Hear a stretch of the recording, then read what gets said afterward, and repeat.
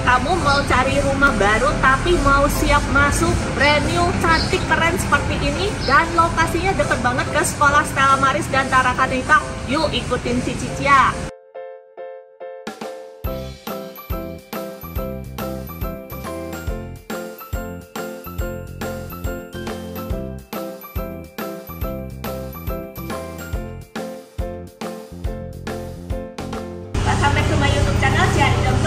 Khusus yang sedang dipasarkan di area Serpong. Kali ini Cici punya rekomendasi yang cakep banget berada di sektor perumahan lama, sektor 7A di area Gading Serpong.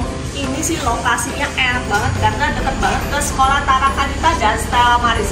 Ini pasti incaran ibu-ibu yang anaknya masih sekolah deh. Dan rumah ini rumahnya brand new, ada dua unit. Yang satu ukurannya 5 kali 18 dan yang saya review ini berposisi di hook ukurannya 6,5 kali 18 untuk bangunannya sama 132 meter persegi. Area depannya sudah ada carport, ini muat sampai dua mobil dan sudah ditutup dengan kanopi di bagian atasnya. Sisi kiri saya ini masih ada sedikit taman. Kalau yang tipe badan, taman ini nggak ada ya, jadi mentok sampai tembok pembatas bangunannya saja. Sekarang yuk kita langsung masuk ke dalam rumahnya ya. Untuk pintunya menggunakan pintu single. Dari sini kita langsung ketemu dengan area living dan dining. Ini menyatu tapas kat dan sudah ada bukaan di bagian depan.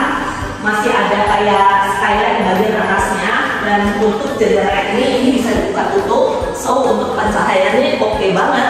Apalagi di rumahnya sudah disiapkan inner pot double ceiling seperti ini. So untuk area living roomnya ini keren dan nyaman banget. Jarang kan biasanya double ceiling itu hanya ada di rumah-rumah mewah, tapi ini rumahnya nggak terlalu besar, sudah punya double ceiling dan inner pot dalam bukan jendela sampai di dua lantai. Inner pot ini berposisi di tengah, ukurannya nggak terlalu besar, tapi ini fungsinya tuh bagus banget karena semua ruangan jadi dapat bukaan dan pencahayaannya. So, rumah ini walaupun hampir full bangunan, ini akan tetap terang. Nah, dari sini ada satu kamar mandi sharing yang berposisi di luar. Dan area lantai satu sudah ada satu kamar tidur.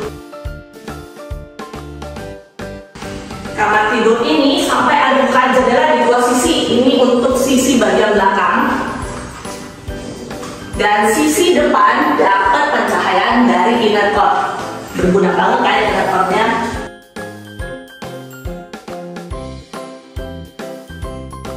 Walaupun rumahnya nggak terlalu besar, tapi ini sudah ada area servis yang didesain terpisah.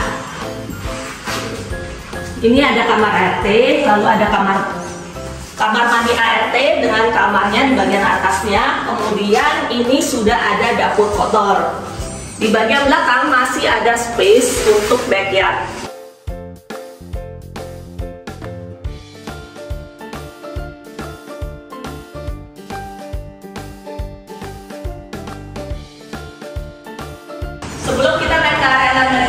Bagian bawah tangga ini, ini juga masih ada space buat gudang penyimpanan. Ini tinggal bikin pintunya aja. Jadi kita lanjut ke area lantai dua ya.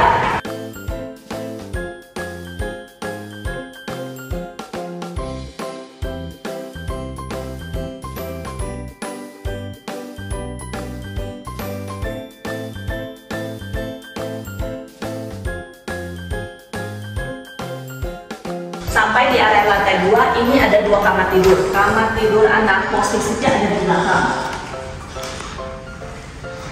Ukurannya mirip-mirip dengan kamar di area lantai satu satu tadi. Sudah ada buka jendela di sisi belakang.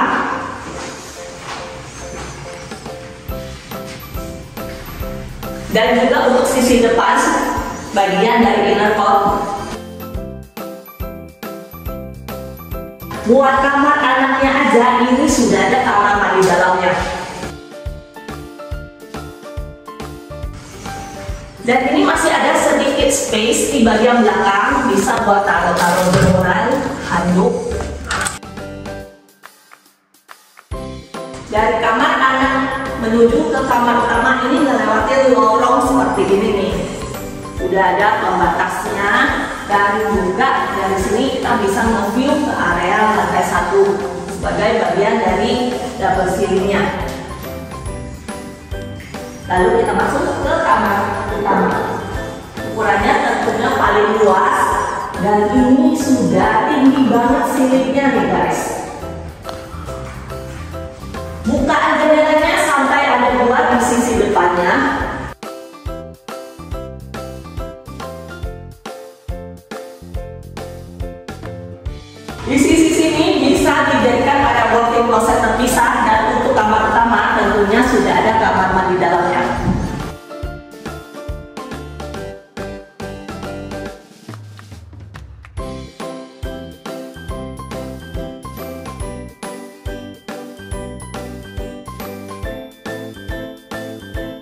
Brand siap masuk dan harganya masih 2 eman. Untuk tipe badan malah harganya di bawah 2 M.